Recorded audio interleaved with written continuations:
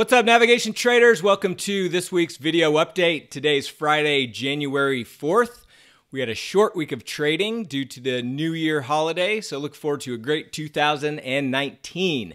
Before we jump into the alerts, I just want to recognize this week's winner who got caught being hot. Every week, we like to recognize somebody who's been active in the community, asking questions, helping other traders uh, just being engaged with community. So this week goes to Chris A. So congrats, Chris. You got caught being hot.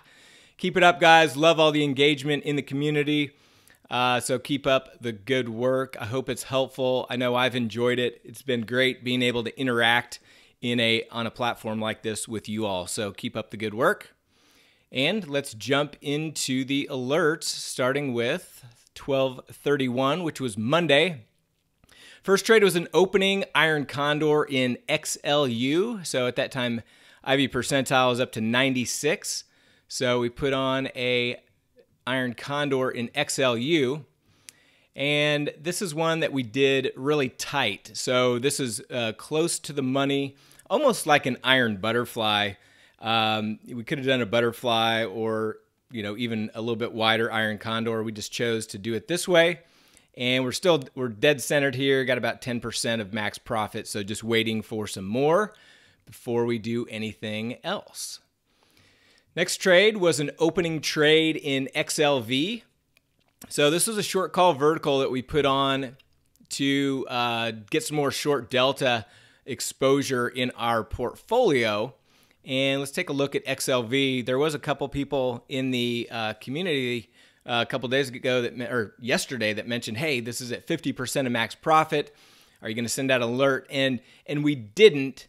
And the reason was is just because we had made a lot of other adjustments rolls, took off some uh, other short delta plays, so we just didn't. I know a couple people in the community did, so that was a good call in hindsight.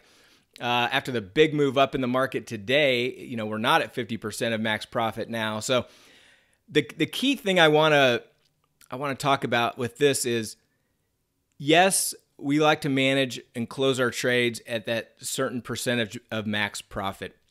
But we also want to pay attention to how that trade, how that position plays into the rest of our portfolio. And so that's the reason why we didn't take it off yesterday. Uh, now, for those of you who did take it off, it must, you know, it probably played better into your overall portfolio. Maybe you had other short delta positions or whatever the case may be. There's no right or wrong answer. I have absolutely no issue with you taking it off, even though I didn't send out the alert. In fact, obviously, in hindsight, that was a good choice. And do we wish we would have done that too? Yeah, sure, of course. But uh, but we're not going to play the hindsight game either. So anyway, that's where we're at in XLV. Still still in the profit, but just looking for some downside to benefit that trade. And speaking of short delta, we we've got a little bit of short delta, uh, not quite to that one to one where we want to be versus our overall theta, but uh, but we are in good shape there and position if the market does uh, roll back over and continue lower. Although looking at today, wow, the market is strong. I mean, S&Ps are up 77, Nasdaq up 255, Dow up over 700, Russell up over 50.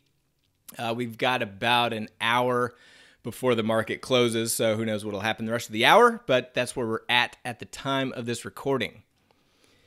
Next trade was a closing trade, and so that was on 31st. Skip the first, market was closed, so this is on the second.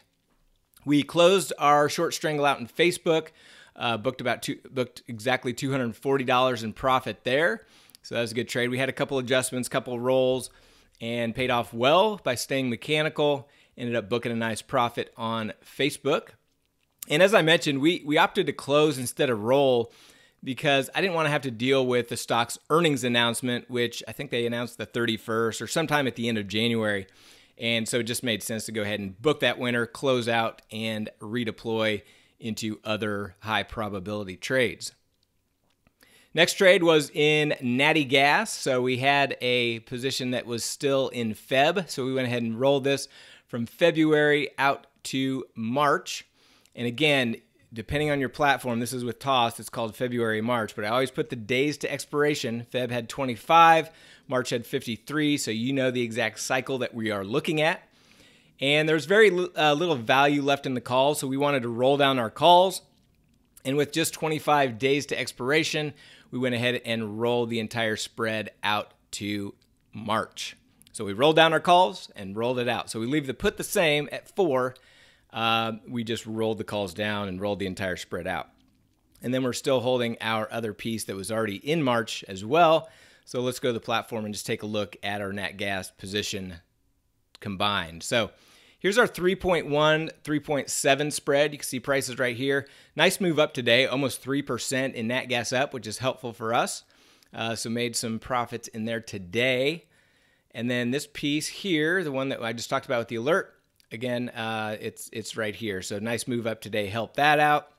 So we're just looking for a little bit more upside in Natty Gas to continue to uh, get back some of those profits that we need. We're still down in Nat Gas overall, uh, but if we could get a little bit of a bounce here, that would be definitely helpful. If not, we'll continue to stay mechanical and if you know if it continues lower, we'll continue to roll down our calls as we see necessary, and you know potentially roll out in time if if needed as well. But uh, there's a chance we could get back to even in this cycle if uh, price stabilizes or goes up, if implied uh, volatility contracts, all that good stuff. So we will manage that one as needed. Next trade was a rolling adjusting trade in Apple. So, Apple, this was interesting. Apple came out with some guidance, and stocks don't do this a whole lot, but what they did is let's go to Apple. You can see that their earnings announcement isn't until 129, but they came out this day on the 3rd and gave some guidance saying, hey, listen, uh, our our earnings, our numbers, our projected sales, whatever it was, I can't I can't even remember exactly. Whatever it was, uh, they're not going to be very good. And so before they even uh, announced earnings, they came out with kind of that mid mid quarter guidance, and the stock dropped about ten percent. Uh, it has since rebounded a decent amount today. It was up over four percent. Now it's up about three and a half uh, today, with the rest of the market being up. Uh, but interesting, you know, stocks don't do that a whole lot. I wouldn't I wouldn't be surprised if instead of implied volatility expanding into the earnings announcement, if it actually continues to fall. I'm not interested in putting on a, a strangler or an iron condor at this point with that uncertainty uh, involved. But uh, that that's kind of my thoughts on what might happen. Next trade was a rolling adjusting trade in XLK. So this is a long put vertical that we've been holding for that short delta exposure. We were over 50% of max profit on this piece. So we wanted to keep that short delta exposure. So we went ahead and rolled that to the next cycle. We rolled from January out to Feb with 43 days to expiration. If we take a look at XLK, it's bounced back up, over 4% today. So it's kind of broken out of our range a little bit, so just looking for some downside to benefit that. Next trade was a closing adjusting trade in FXI. So this is one where we had a call butterfly in January. After the big move down, uh, it was it was at a point there's a very low probability of it getting back to range. So we just went ahead and closed that out and kept on our put butterfly. Uh, obviously, we would have wished we would uh, we wish we would have waited until today with FXI being up as much as it is, but we still have this one on, still collecting that theta, still collecting um, that daily time decay on those options, and so we will probably add to this one at some point here. Uh, we're in February, which has 42 days to expiration. You know, if these March, once they get under 60 days, we may add one out in March, or we may still continue to add one in Feb. We'll see what happens. But as of right now, we're pretty dead centered on our put butterfly. Next trade was a rolling adjusting trade in forward slash ZB, which is the bonds. And so we just rolled our strangle from Feb to March. And with this one, uh, we, we rolled our puts uh, up. Price had, had breached our upside short strike, and so we needed to roll our puts up. And with just 22 days to expiration, we went ahead and rolled that to March. Bonds were down nicely today, uh, over over a percent, which is a pretty good sized move in bonds. And so you can see we're right back to dead center in this one. Already got some profit back after that roll. So just continuing to hold this for some more time to pass in ZB. Next trade was a closing trade in forward slash GC. This is one that we did today. We had a short strangle on in gold. Only had this on for eight days, and we were able to book over 45% of max profit. So it had a big contraction in implied volatility today with the market being up. If we look at GLD to get an accurate reading on the IV percentile, IV percentile um, indicator here, I mean, look at this. Look at this contraction. It went all the way from about 92-ish down to 61-ish. Uh, so that's you know that's a big contraction. So we were able to get out of that one nicely in uh, forward slash GC. And lastly, our last trade was an opening trade in forward slash 6B, which is the British pound. And with this one, FXB is the corresponding ETF. So let's go to that on the platform real quick. I just want to point something out that I mentioned in the alert. FXB. Well, you see, we use this for the uh, implied volatility indicator because the IV indicator is not accurate on the future.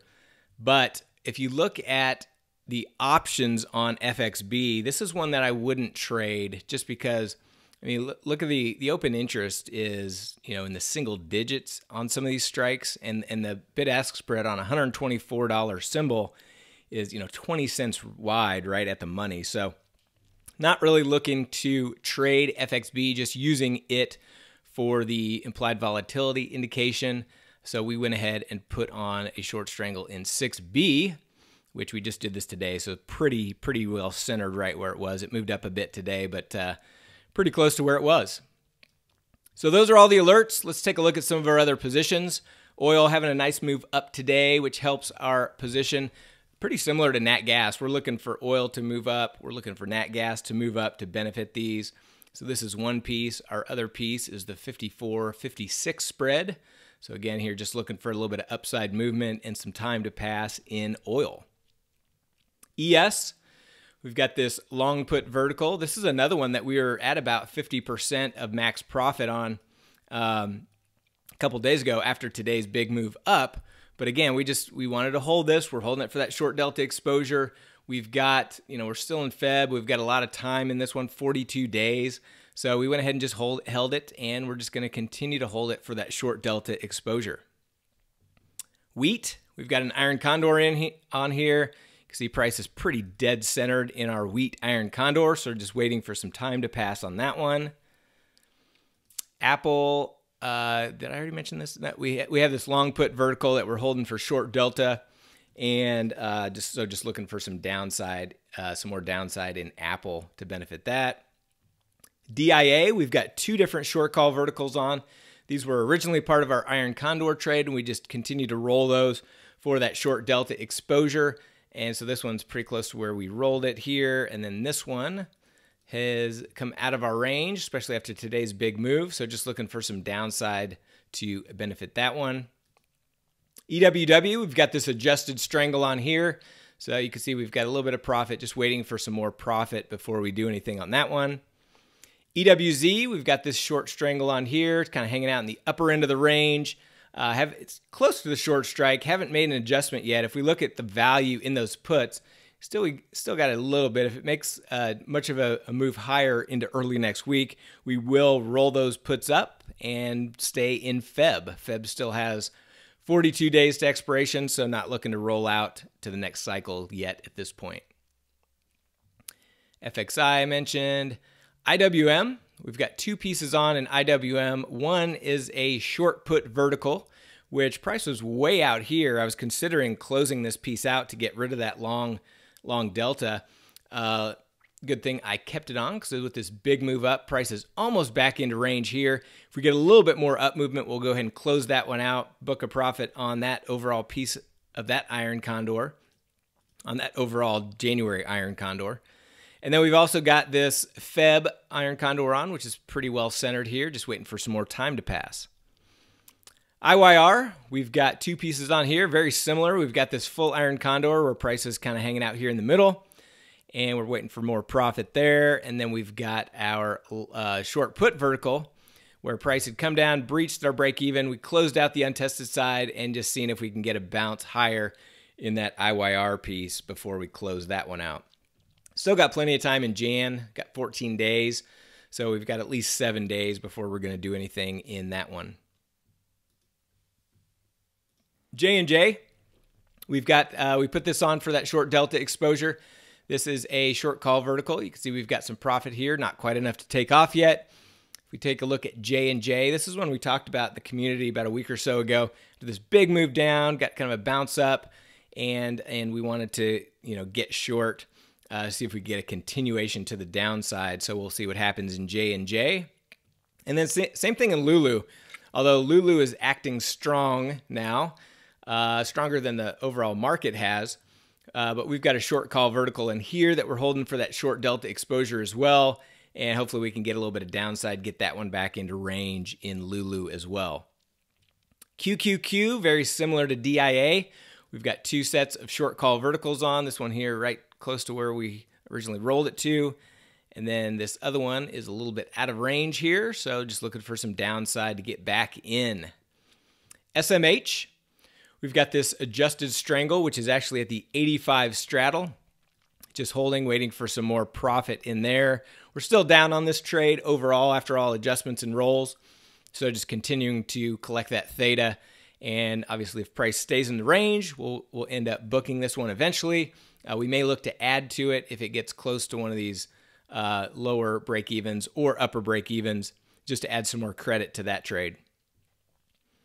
SPY. I mentioned that one, I think. No, no, I didn't. Sorry. Uh, we've got uh, very similar to, to IWM. We've got two pieces here. One is a short put vertical. This was originally part of an iron condor in January, and price had come down, breached our break even, closed out the untested side. Prices come all the way back, and we're actually profitable on this iron condor. Waiting for a little bit more before I take it off. So probably early next week, I'll take that piece off, and we'll book a winner on that piece. And then we've got this other iron condor where price is hanging out in the upper upper end of the range. And so what we'll probably do if we take off this short put vertical, we'll probably end up adding another centered iron condor around current price. And so that's where we're at in SPY. I mentioned XLK, I mentioned XLU, I mentioned XLV, XRT. This is one where we've got this adjusted strangle here. We're still down a little bit on the trade after all adjustments and rolls, but uh, coming back nicely here. Got about $644 of profit in this piece after the roll, uh, but still looking for some more. So we'll probably end up continuing to hold this, maybe roll it out to the next cycle, maybe add to it depending on where price and implied volatility move to. So those are all of our alerts. Those are all of our positions. Hope everybody had a great week. Have a great weekend, and we'll talk to you next week.